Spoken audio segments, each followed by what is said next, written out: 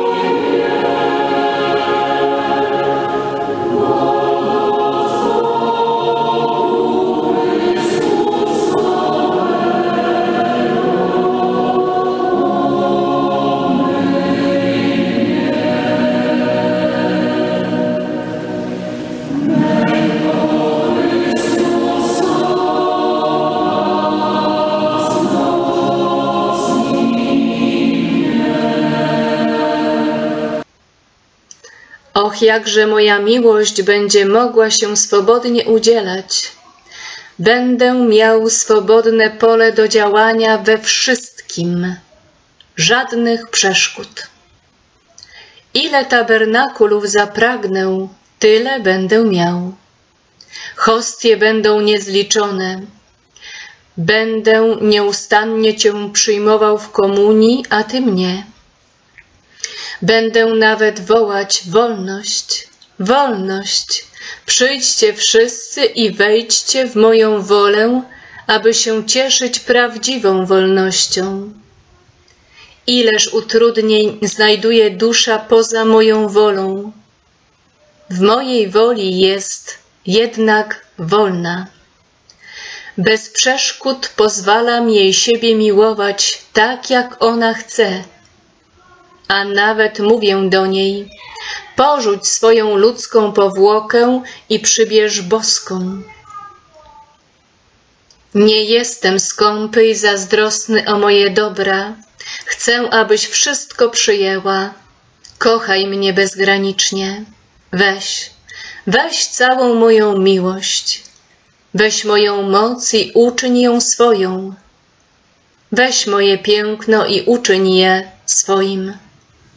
Im więcej bierzesz, tym bardziej zadowolony jest Twój Jezus. Ziemia wytwarza mało tabernakulów. Hostie są policzone. Oprócz tego świętokradztwa i brak szacunku, który mi okazują. Och, jakże obrażana i wstrzymywana jest moja miłość. Natomiast w mojej woli nie ma przeszkód ani cienia zniewagi. Stworzenie okazuje mi swoją miłość, daje mi boskie zadośćuczynienie oraz całkowite odwzajemnienie. Wraz ze mną zastępuje mi całe zło ludzkiej rodziny. Bądź więc czujna i nie wychodź z miejsca, do którego Cię wzywam i w którym Cię oczekuję.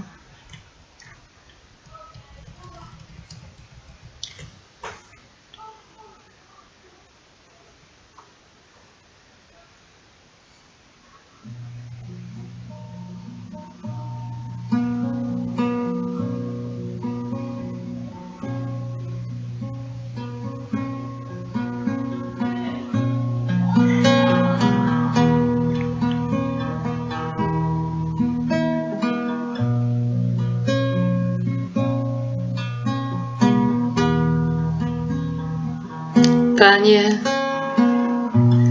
niech nadejdzie ta era prawdziwej wolności.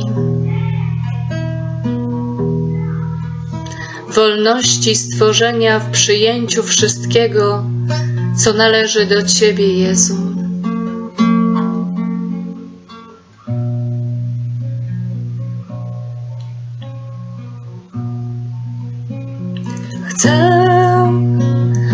Ciebie podobnym być. Panie Jezu, chcę do Ciebie podobnym być. Panie Jezu, naczyniem, które byś używać mógł, chcę do Ciebie podobnym być.